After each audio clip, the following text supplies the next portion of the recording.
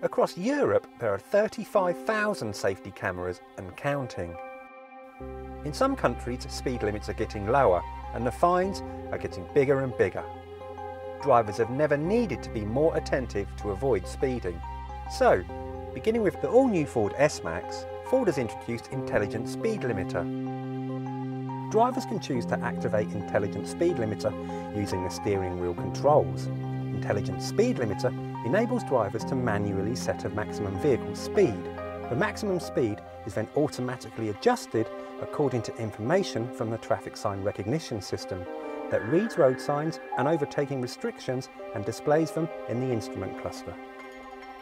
Cars with onboard navigation can also use map data to support the system on long country roads where there may be fewer traffic signs. The system smoothly controls speed using engine torque by electronically adjusting the amount of fuel delivered, rather than applying the brakes.